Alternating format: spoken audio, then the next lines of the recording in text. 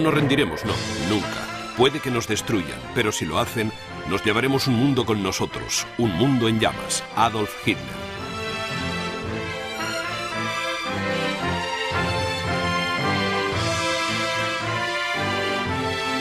El mundo en llamas. Occidente en guerra.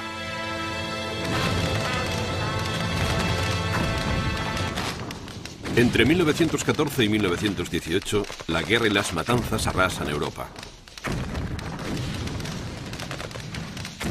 A lo largo de todo el continente, millones de personas mueren en el barro y las trincheras de campos de batalla sembrados de obuses.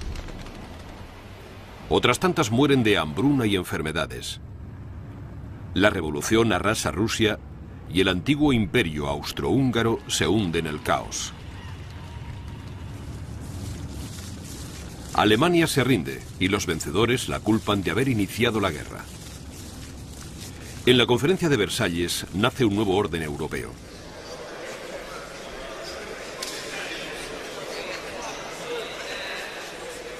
De las cenizas de los viejos imperios ruso y austrohúngaro nacen nuevas naciones-estado, Yugoslavia, Checoslovaquia, Hungría y Polonia.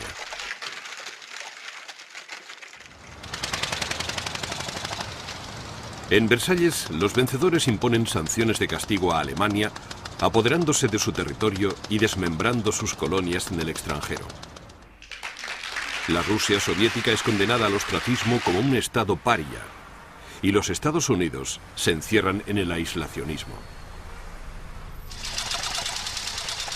En Alemania, donde los términos dictados por los aliados victoriosos despiertan un profundo rencor popular, Adolf Hitler crea el Partido Nacional Socialista Obrero Alemán.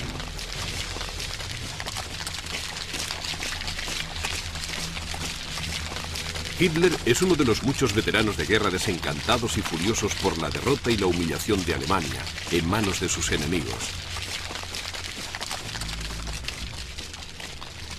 En Alemania hay decenas de miles de exsoldados que creerán en la afirmación de Hitler de que Alemania ha sido traicionada por los socialistas y los judíos. Hitler se había alistado en 1914 y había luchado con el ejército alemán en el frente occidental, donde había ganado la Cruz de Hierro y había ascendido al rango de cabo. En 1919, con poca educación y ninguna perspectiva de trabajo, se mete en política.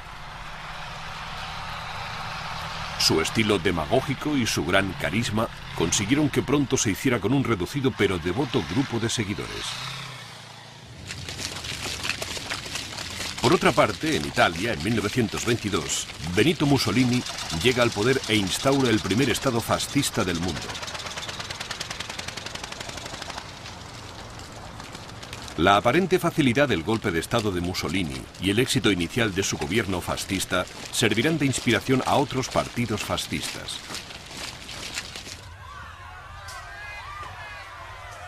El siguiente año, Hitler protagoniza un intento de golpe en Múnich, Alemania. El intento fracasa y Hitler ingresa en la prisión de Landsberg. Allí escribe Mein Kampf, su manifiesto político.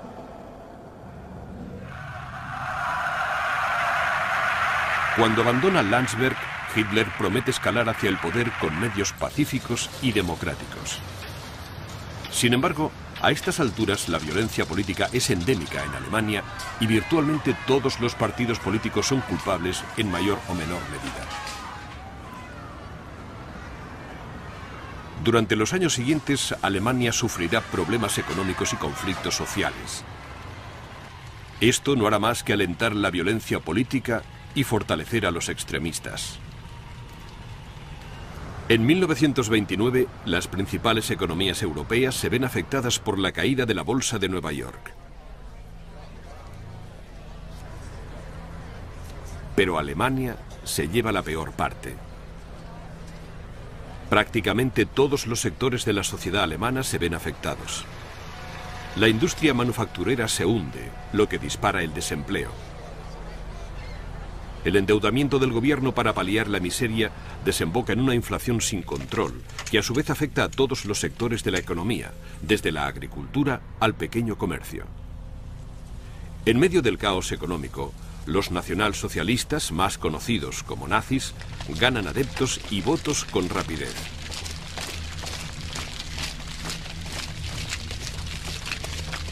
En 1932, Hitler se presenta como candidato a las elecciones presidenciales.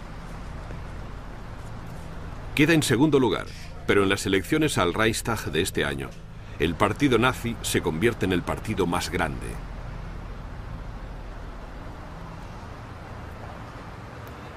El presidente de Alemania, que iniciará su segundo mandato, es Paul von Hindenburg, un héroe de la Gran Guerra, pero tiene ya 86 años y una salud delicada.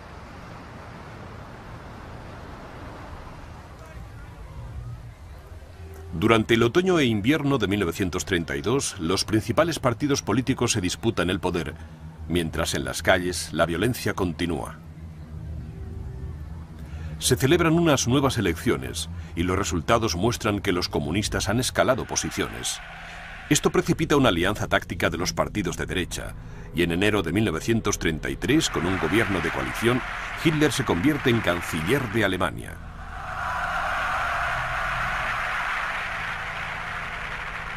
Casi de inmediato, Hitler disuelve el Reichstag y convoca unas nuevas elecciones. La última vez que se realizó esta maniobra benefició a los comunistas, pero esta vez Hitler utilizará su autoridad de canciller para inclinar la balanza de forma decisiva en contra de ellos. La policía prusiana queda bajo control de Hermann Göring, un importante diputado del partido nazi. Y Joseph Goebbels pasa a ser ministro de propaganda, controlando así la prensa y la radio. Entre tanto, la SA, el ejército privado del partido nazi, se embarca en una campaña de intimidación y violencia política. El 27 de febrero, los nazis reciben un regalo inesperado. El fuego devora el edificio del Parlamento alemán y un joven comunista holandés es arrestado en el lugar del crimen y acusado de incendio premeditado. Para Hitler es el pretexto ideal para atacar a los comunistas y se aprueba una legislación de emergencia para restringir las libertades civiles e ilegalizar la oposición política. Los objetivos principales de estas medidas son los comunistas y los socialistas.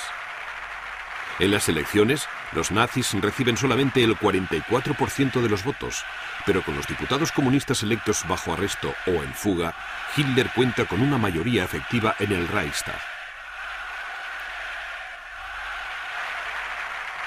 El 23 de marzo, el Reichstag, dominado por los nazis, aprueba una ley de autorización que anula la Constitución y otorga a Hitler poderes dictatoriales.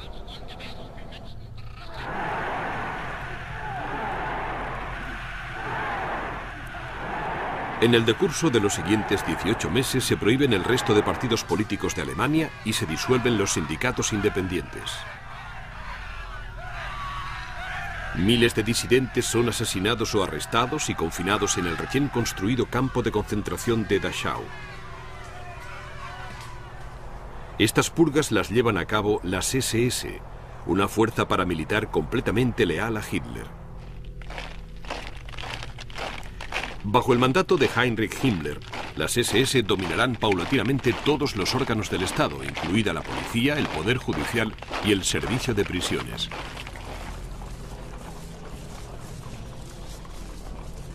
En agosto de 1934 muere el presidente Hindenburg. Aislado a causa de su enfermedad durante el año anterior, no había hecho nada para impedir que los nazis tomaran el poder.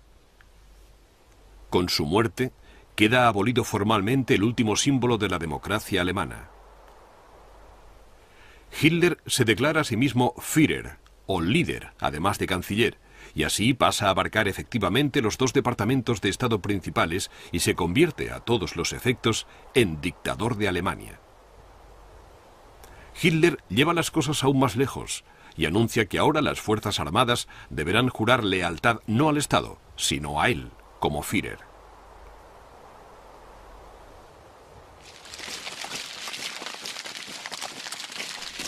En septiembre, Hitler celebra los logros del verano con un gran rally en Nuremberg. El tema del rally, que dura una semana entera, es el triunfo de la voluntad. Hitler utiliza el rally para demostrar la unidad del partido y del país, para presentar a nuevos funcionarios y líderes del partido y para confirmar su propia ascensión como gobernante supremo sobre todo lo que domina, el partido, el ejército, el pueblo y el Estado.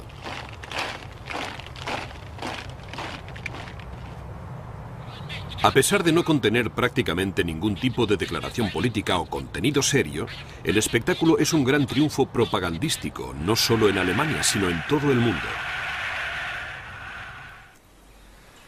Significativamente, comunidades alemanas de países vecinos también quedan muy impresionadas y sus peticiones estarán cada vez más orientadas hacia una futura incorporación a una Alemania más grande.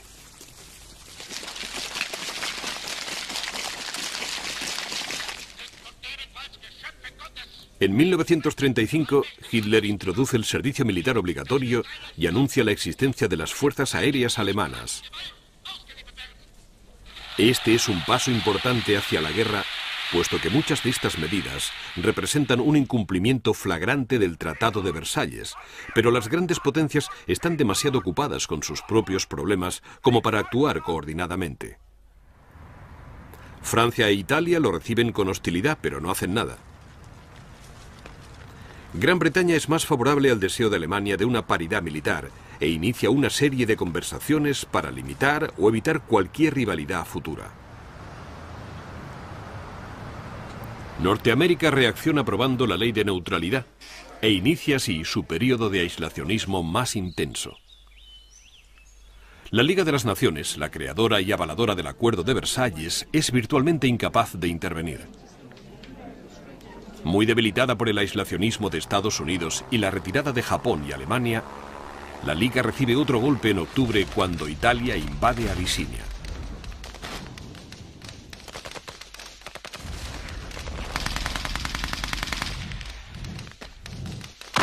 Encabezada por Gran Bretaña y Francia, la Liga impone unas sanciones parciales a Italia, pero no incluyen el petróleo ni el paso libre de las tropas italianas por el canal de Suez, que está bajo control británico. El conflicto armado en Abisinia dura poco más de seis meses. El ejército abisinio, pobremente equipado, no es rival para una potencia europea moderna. Ante la artillería y los tanques italianos, los abisinios solo pueden aportar su valentía y sacrificio personal.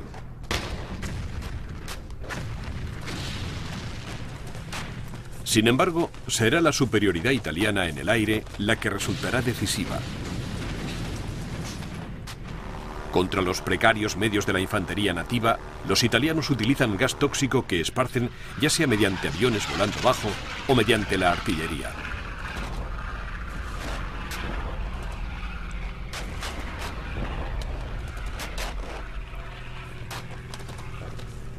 En mayo de 1936, los italianos ya han conseguido el control efectivo de la mayor parte del país.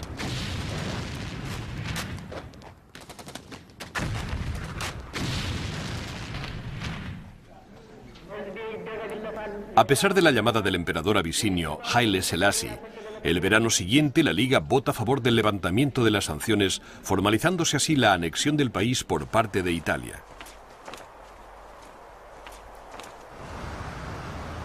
En Alemania, las victorias propagandísticas de 1934 y 1935 quedan consolidadas por el progreso y la mejora económica. Hitler se lleva el mérito, aunque el crecimiento económico es en parte incentivado por el rearme y en parte por un crecimiento general del comercio mundial y la prosperidad.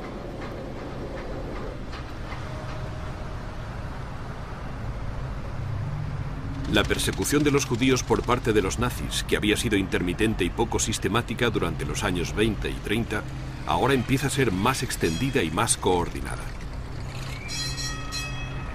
A un nivel básico, esta persecución incluye un boicot de las tiendas y negocios judíos, reforzado por un clima de hostilidad antisemítica y violencia en masa, tolerado tanto por el Estado como por las autoridades policiales.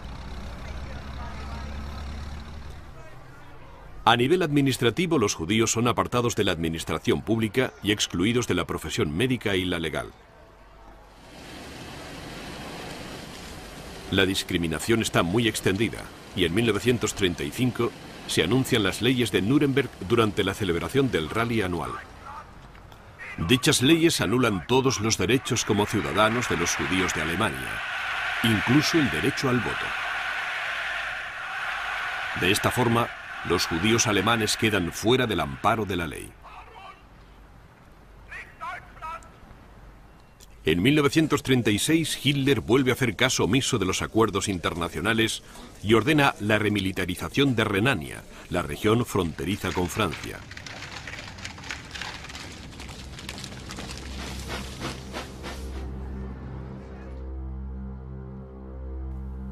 Como parte del Tratado de Versalles firmado en 1919, Alemania tiene prohibido desplegar tropas y construir fortalezas al oeste del Rin y en 50 kilómetros de su orilla este.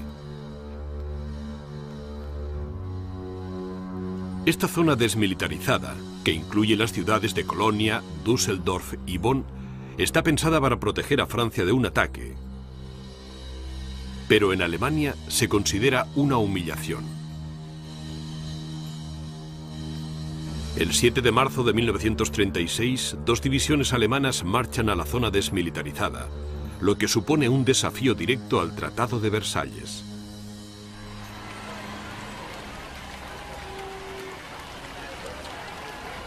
La apuesta vale la pena. Francia, a pesar de ser militarmente más fuerte que Alemania, no emprende ninguna acción, y el éxito de la empresa no hace más que reforzar el prestigio de que goza Hitler entre los alemanes. Mientras, en el extranjero, suceden otras cosas. Cuando en España estalla la guerra civil, Hitler envía la Legión Cóndor para apoyar a las fuerzas fascistas comandadas por el general Franco.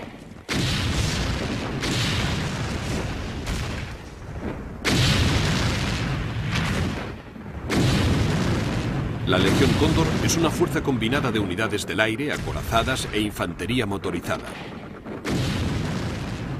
La Legión luchará en España durante cerca de dos años, durante los cuales acumulará una valiosa experiencia en la batalla y probará armas y tácticas.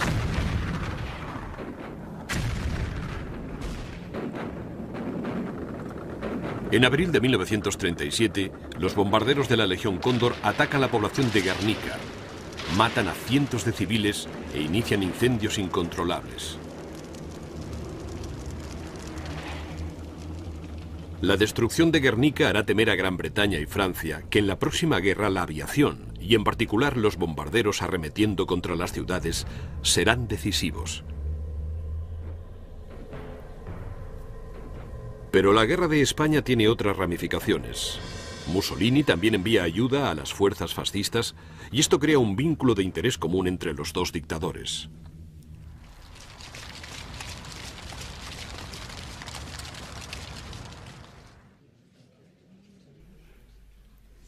En noviembre de 1936, Alemania y Japón firman el pacto anti-Comintern, aparentemente para detener la expansión del comunismo, pero dirigido principalmente contra la Rusia soviética.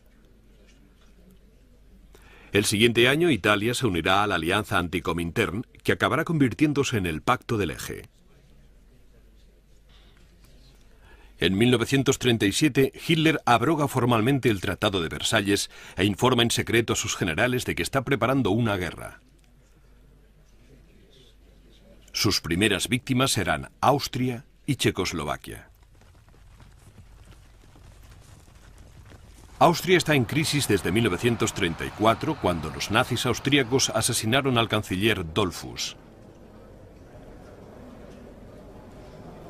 Hitler envía muchas tropas a la frontera y amenaza con invadir Austria, y así obliga al gobierno austríaco a capitular y acceder al Anschluss, la unión de Austria y Alemania. El 12 de marzo de 1938, las tropas alemanas entran en Austria. No hay resistencia. La mayor parte de la población austríaca de habla alemana le recibe con los brazos abiertos y el día siguiente Austria queda formalmente incorporada al Reich.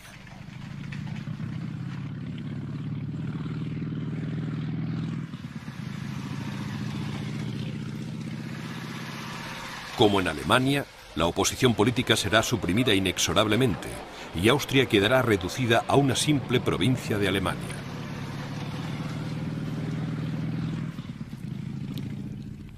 En septiembre, Hitler reclama el territorio de Checoslovaquia. En concreto, reclama que Sudetenland, de población predominantemente de habla alemana, pase a formar parte de Alemania.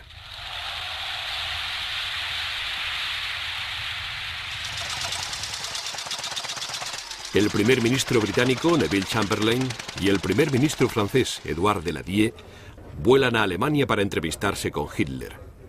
En Múnich, las principales potencias europeas, Gran Bretaña, Francia, Alemania e Italia, llegan a un acuerdo según el cual Checoslovaquia pierde su Sudetenland y queda muy debilitada. A lo largo de las siguientes semanas, otras partes del país serán anexionadas a Polonia y Hungría. A su regreso a Gran Bretaña, Chamberlain se muestra orgulloso de un acuerdo amistoso con Hitler y de que el acuerdo de Múnich asegure la paz en nuestro tiempo.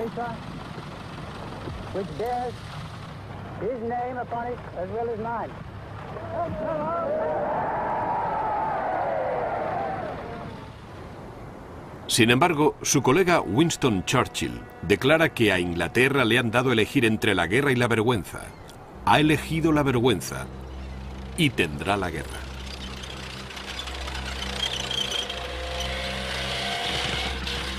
En marzo de 1939, lo que queda de Checoslovaquia es dividido y repartido entre Alemania y Hungría. Alemania se queda con la mejor parte, que incluye la antigua capital checoslovaca, Praga.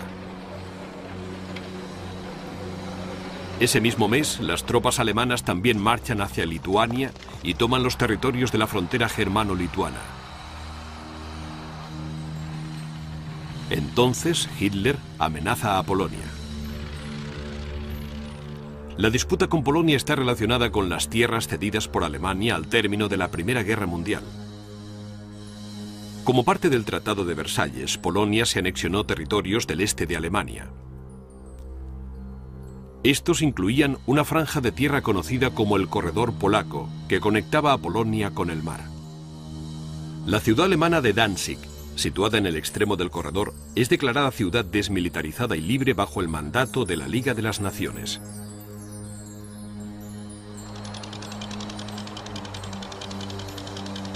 El corredor polaco y la peculiar situación de Danzig son una espina que Alemania tiene clavada especialmente porque el corredor parte el país en dos. Puesto que la Liga de las Naciones ya no puede garantizar la seguridad de este emplazamiento, Gran Bretaña y Francia ofrecen apoyo militar a Polonia y prometen acudir en su ayuda en caso de guerra contra Alemania. Esto marca el fin de sus esfuerzos por apaciguar a Hitler y el comienzo de la frenética última fase de la carrera armamentística en tiempo de paz, la introducción del servicio militar obligatorio en Gran Bretaña y el igualmente inevitable avance hacia la guerra. En abril, Italia invade y se anexiona a Albania y la garantía que Gran Bretaña y Francia dieron a Polonia se extiende rápidamente a Rumanía y Grecia. Estos dos países se encuentran bajo la amenaza del creciente poder del eje en Europa Central, y Grecia particularmente por el declarado deseo de Mussolini de crear un imperio mediterráneo.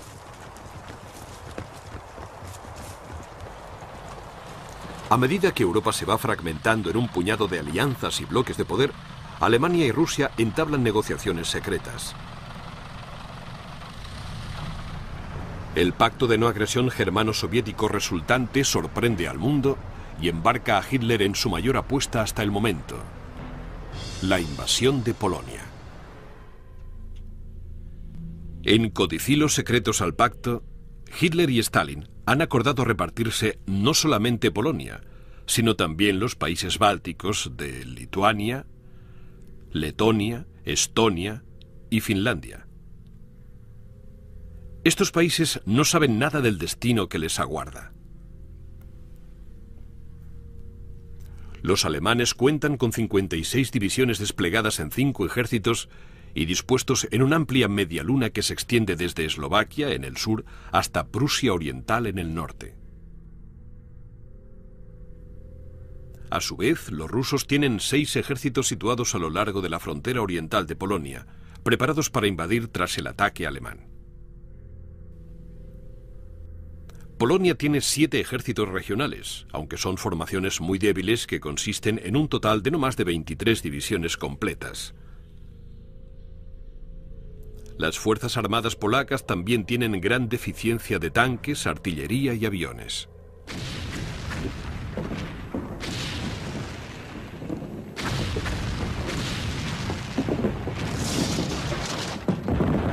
El 1 de septiembre de 1939, Hitler invade Polonia. Todas las divisiones motorizadas y acorazadas toman partido, igual que virtualmente toda la Luftwaffe. La intención de Hitler es doblegar Polonia antes de que Gran Bretaña y Francia puedan reaccionar. Es la primera demostración de Blitzkrieg o guerra relámpago.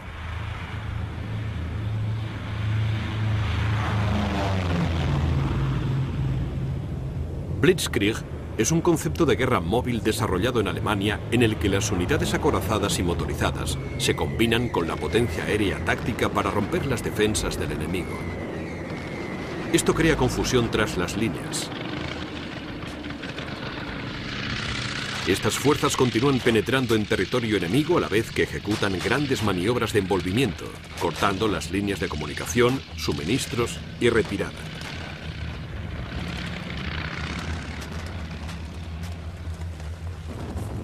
Entonces la infantería avanza y arrolla y elimina los focos de resistencia existentes.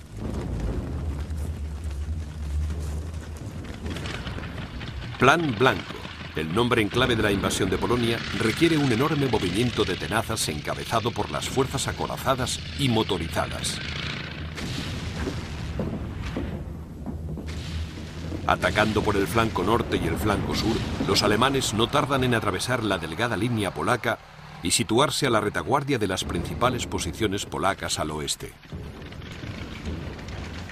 El 3 de septiembre, cuando Gran Bretaña y Francia declaran la guerra a Alemania, la mayor parte del ejército polaco ya está a punto de ser completamente rodeado.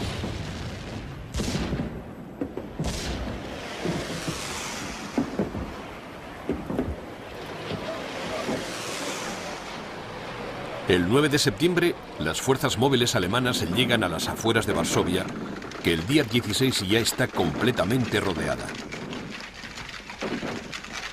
El día siguiente, el ejército rojo soviético invade Polonia por el este.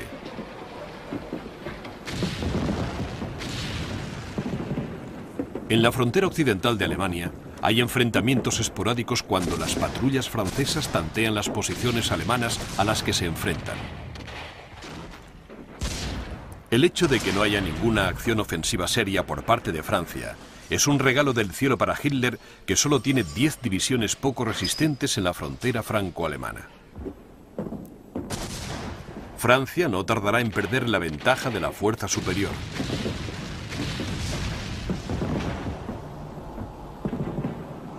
En Polonia, Varsovia sufre un bombardeo continuo tanto por parte de la aviación como de la artillería alemanas. Irónicamente, la esperanza de una intervención por parte de Francia y Gran Bretaña anima a la resistencia polaca, fútil a estas alturas. Uno a uno los reductos polacos caen en manos de los alemanes.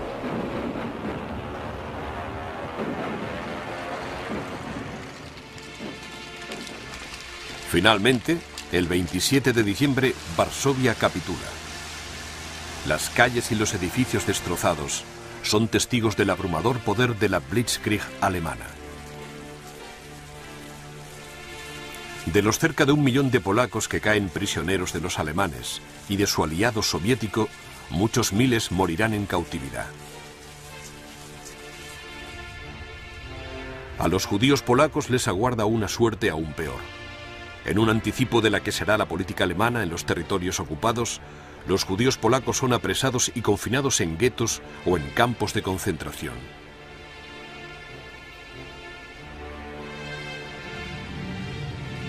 Hasta el momento, el violento antisemitismo de Hitler ha sido parcialmente consentido por la opinión mundial. Pero bajo el amparo de la guerra, el dictador descargará su furia, no solo sobre los judíos de Polonia, sino también sobre los de Alemania, y cualquier otro país que conquiste. Esta política será conocida como la solución final. Heinrich Himmler se encargará de coordinarla y las SS la aplicarán con creciente fanatismo.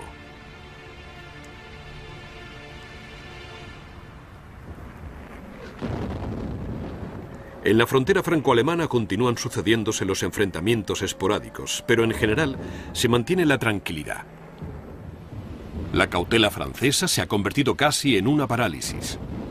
Mientras tanto, las fuerzas británicas se reúnen en la frontera franco-belga a la espera de que Alemania ataque principalmente a través de Bélgica, como ya hizo en la Primera Guerra Mundial.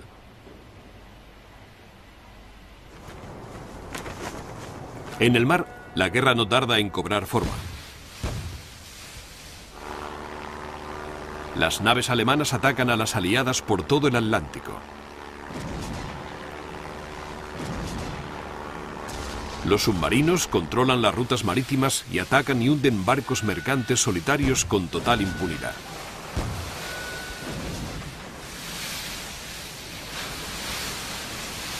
Desde el principio la intención de los alemanes ha sido conseguir que Gran Bretaña se rinda cortando el suministro de combustible, alimentos y material bélico básico que importa del extranjero.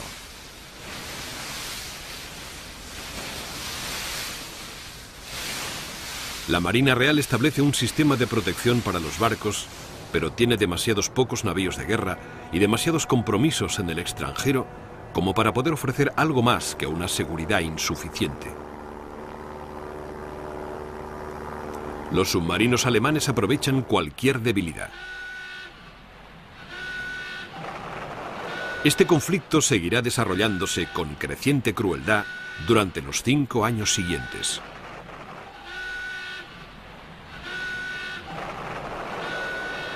El 30 de noviembre el Ejército Rojo invade Finlandia.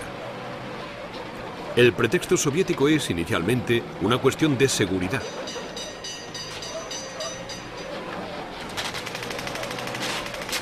Pero pronto cambiará y se hablará de apoyo a un gobierno finlandés ficticio en el exilio, el conocido como Gobierno Popular Finlandés.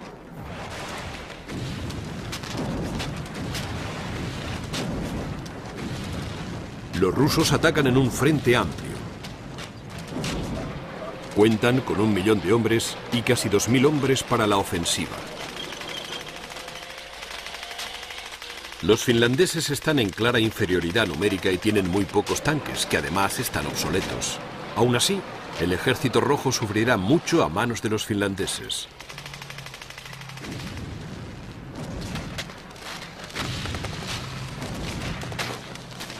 En 1937 Stalin había lanzado a su policía secreta contra el ejército rojo y durante la subsiguiente purga se arrestó a cerca de 35.000 oficiales, muchos de los cuales fueron ajusticiados. Prácticamente todos los altos mandos desaparecen y los hombres y oficiales que han sobrevivido están asustados y desmoralizados. Además, no están preparados para una guerra en el invierno de Finlandia. Los finlandeses, por el contrario, están tremendamente motivados, están luchando en su propio territorio y a pesar de no tener artillería pesada, tiene gran movilidad e iniciativa. Los finlandeses aguantan más de dos meses, pero a su sector clave del sur, los rusos envían más artillería y tanques e inician una ofensiva concentrada. En este sector, el ejército rojo supera numéricamente a los finlandeses en una proporción de 14 a 1, y los finlandeses no tardan en retroceder.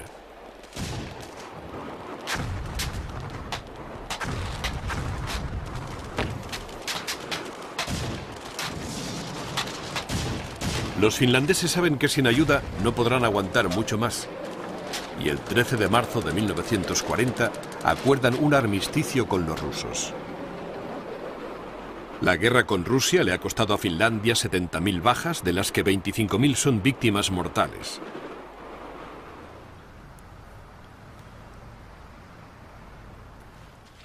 El prestigio de Rusia, sin embargo, ha recibido un importante golpe. Las bajas rusas ascienden a cientos de miles. En todas partes se considera que su victoria en Finlandia ha sido un desastre, una prueba de que Rusia, a pesar de su superioridad numérica, no está preparada para la guerra. Incluso Stalin está sorprendido por los costes. Tras Finlandia, el ejército rojo pasará a la defensa y reforzará las fronteras con terraplenes y trincheras. Pero los soviéticos no aprenderán la lección de la debacle de Finlandia y continuarán dependiendo de la fuerza bruta de la superioridad numérica y no de la táctica y la estrategia.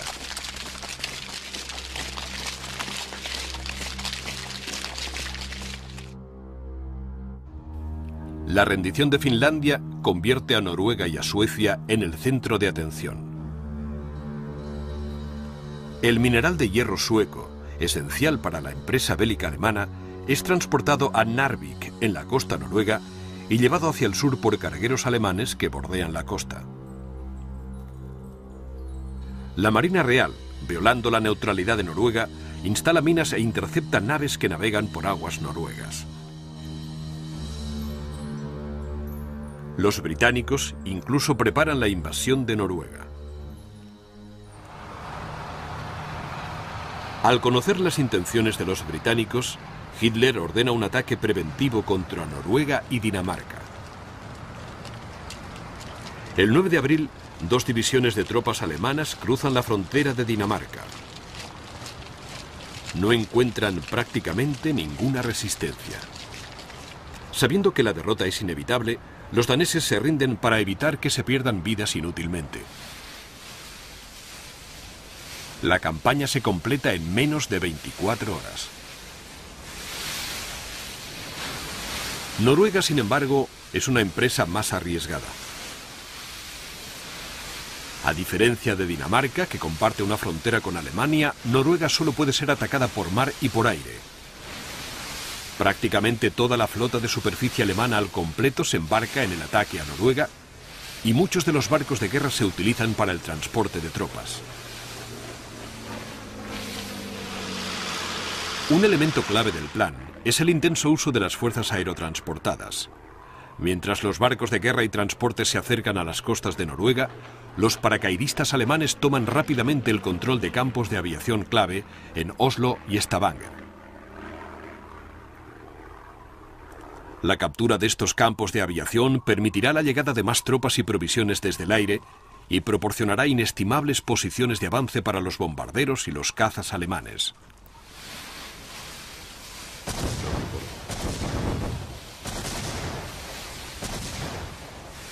El desembarco naval en Oslo encontrará una oposición feroz. Y también habrá enfrentamientos en Bergen, pero en el resto del país los alemanes encuentran poca resistencia, los noruegos no están avisados del ataque y en muchos lugares les coge totalmente por sorpresa.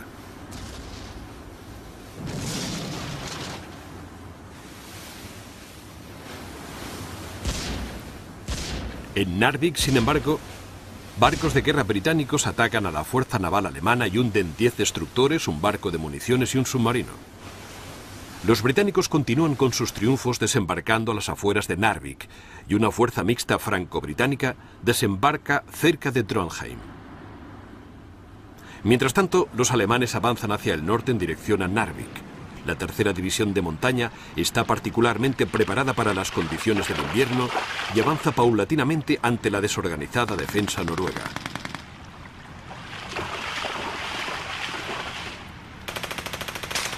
A las afueras de Trondheim, los alemanes contraatacan a los británicos y a los franceses. Estos ataques reciben el apoyo de la Luftwaffe, que despegan de campos de aviación noruegos capturados.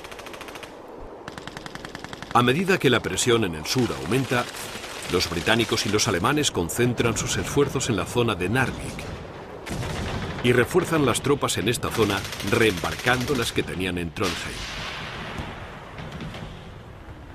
A principios de mayo todo el sur de Noruega está en manos alemanas y sus tropas de montaña avanzan inexorablemente hacia Narvik.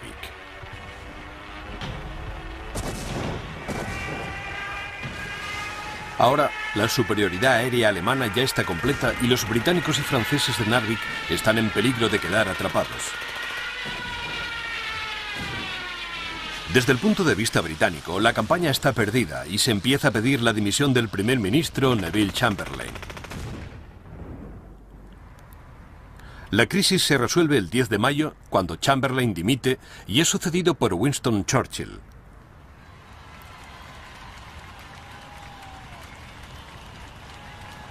Ese mismo día vuelve a estallar la tormenta, esta vez sobre Francia, Bélgica y Holanda.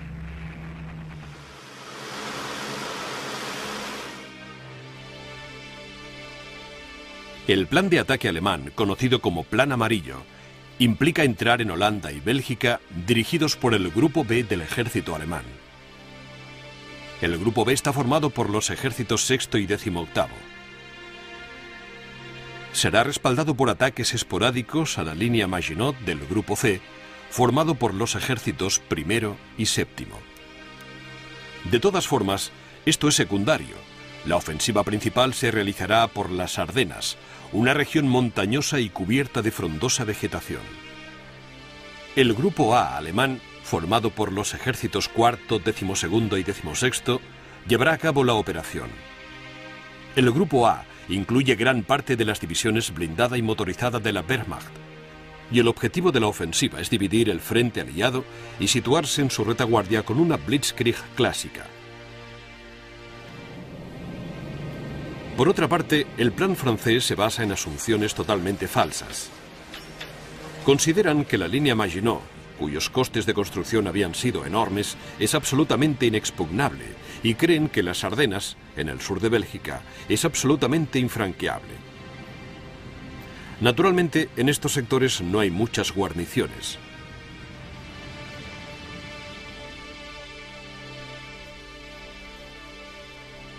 La principal fuerza francesa y el cuerpo expedicionario británico se encuentran repartidos a lo largo de la frontera franco-belga.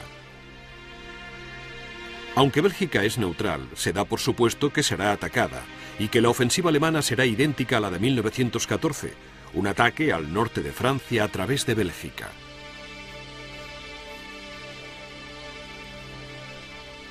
Los franceses piensan avanzar, junto al cuerpo expedicionario británico, hasta posiciones defensivas en el río Dyle en cuanto las tropas alemanas crucen la frontera belga. Allí esperan librar una batalla defensiva estática parecida a las batallas que libraron en la Primera Guerra Mundial.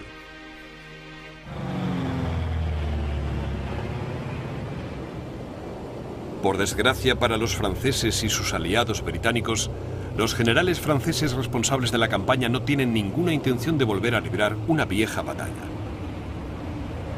El primer ataque demuestra su dominio de las artes bélicas modernas. Las fuerzas aéreas aterrizan en Holanda. A pesar de ir poco armados y ser inferiores en número, las fuerzas aéreas alemanas no tardan en hacerse con importantes campos de aviación y otros objetivos clave, y la rapidez y dureza de estos ataques paralizan las comunicaciones holandesas y obstaculizan la resistencia.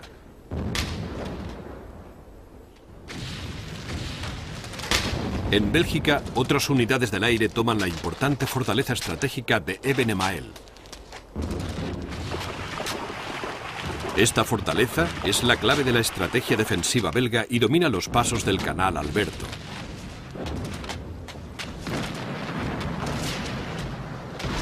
que también son tomados por las unidades aéreas alemanas.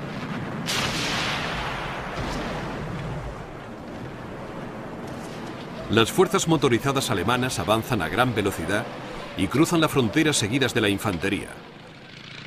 Mientras holandeses y belgas retroceden sin ningún tipo de orden, británicos y franceses avanzan por el sur de Bélgica hasta la línea del Dyle.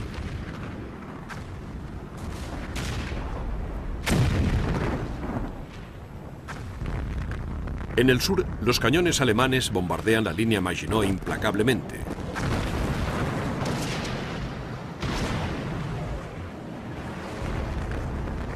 Pero es en el corazón del frente donde se está gestando el ataque principal. Siete divisiones motorizadas empiezan a desplazarse por los arbolados desfiladeros de las Ardenas.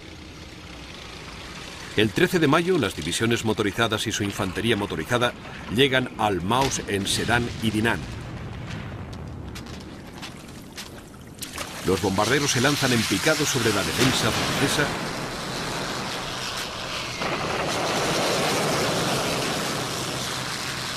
mientras los tapadores alemanes construyen puentes de pontones para cruzar el río.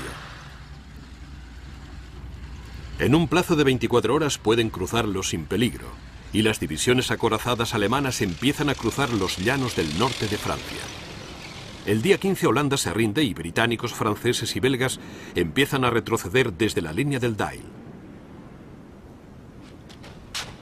En el centro, el frente francés está al borde del colapso absoluto. Las divisiones acorazadas alemanas están avanzando prácticamente sin resistencia. Han arrasado secciones enteras del frente y el segundo y noveno ejércitos franceses se baten precipitadamente en retirada. En el aire, la superioridad alemana es arrolladora. Sus cazas y sus bombarderos cruzan el norte de Francia haciendo estragos y sembrando la confusión.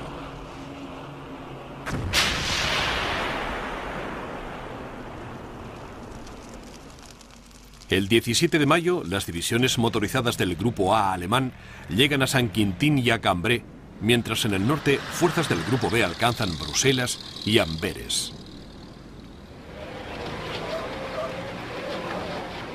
El 20 de mayo las fuerzas motorizadas llegan a Abbeville, en la costa de Francia, cortando el paso a las tropas aliadas hacia el norte y amenazando con cerrar la línea de este a oeste. En cuestión de días, las fuerzas motorizadas se dirigen hacia el norte por Boulogne y Calais, mientras la infantería del Grupo B presiona desde el norte y el este.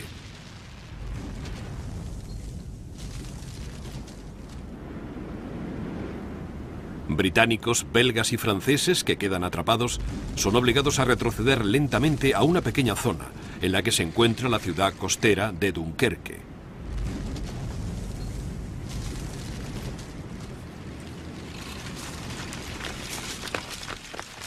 El día 26 se da la orden de iniciar la evacuación de las tropas desde las playas.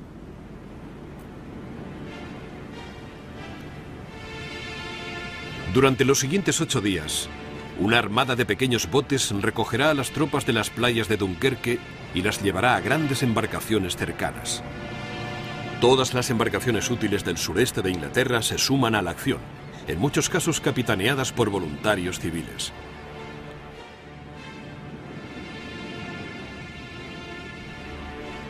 En el interior, la retaguardia va perdiendo terreno paulatinamente, mientras sobre sus cabezas, bombarderos y cazas alemanes atacan las playas, los barcos e incluso la ciudad. En la evacuación de Dunkerque se consigue rescatar a 340.000 hombres, más de un tercio de los cuales son franceses. A pesar de que se ha perdido la mayor parte de sus armas y su artillería pesada, los soldados británicos rescatados representan la mayor parte del ejército profesional británico, sin el cual Gran Bretaña quedaría indefensa. El 8 de junio las últimas fuerzas británicas son evacuadas de Narvik en Noruega. La ocupación alemana del resto del país hace que su posición sea insostenible. A pesar de todo, los británicos en Noruega han luchado con determinación y valor, aguantando más que sus camaradas en Francia.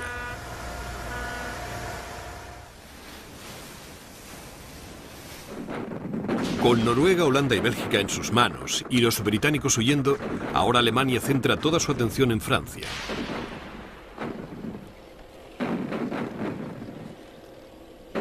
El frente francés ya está sumido en el caos. La línea de defensa creada precipitadamente en Somme se ha roto y los alemanes toman la ciudad de Rouen junto al río Sena.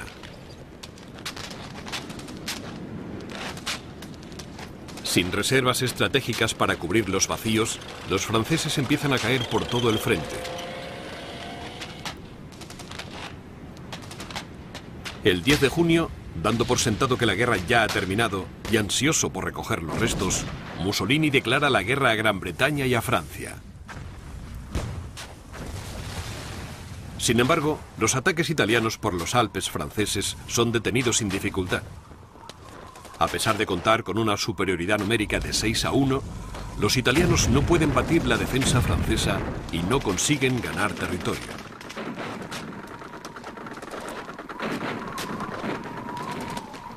Mientras tanto, los alemanes lo asolan todo por donde pasan.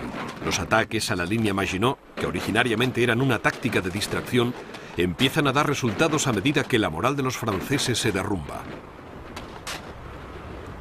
París cae el día 14 y las fuerzas motorizadas cruzan el este de Francia hacia la frontera con Suiza. La infantería alemana cruza el Sena y marcha hacia el centro de Francia. El 17 de junio, las unidades motorizadas llegan a Pontarlier, cerca de la frontera suiza, aislando a las fuerzas francesas que defienden la línea Maginot. Otras fuerzas alemanas siguen avanzando prácticamente sin resistencia en Bretaña, Normandía y el Loira. Ese mismo día, Francia pide un armisticio. La negociación del armisticio se lleva a cabo en Compiègne el 21 de junio. Se ha elegido este lugar para infligir la máxima humillación a los franceses y vengar la derrota alemana de la Primera Guerra Mundial. Compiègne fue donde el mariscal francés Ferdinand Foch aceptó la rendición de Alemania en 1918. Y el mismo vagón de tren en el que se llevó a cabo la rendición se sacó de un museo para celebrar las negociaciones del armisticio.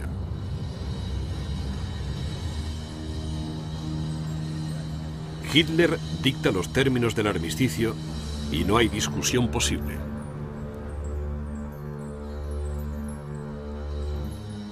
los alemanes ocuparán gran parte de Francia, abarcando todo el norte y el oeste, incluidos París y toda la costa atlántica.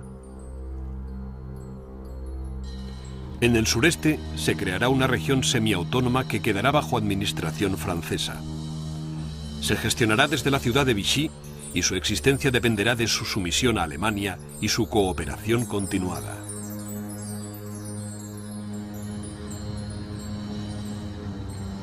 La caída de Francia puso punto final a la primera fase de la guerra de Hitler.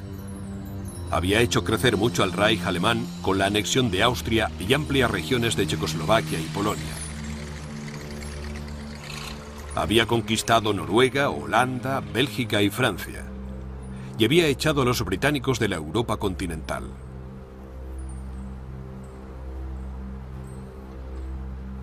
Su aliado, Mussolini, había tomado Abisinia y Albania, y por su tardía declaración de guerra a Gran Bretaña y Francia, percibió una pequeña parcela de territorio francés en la costa mediterránea.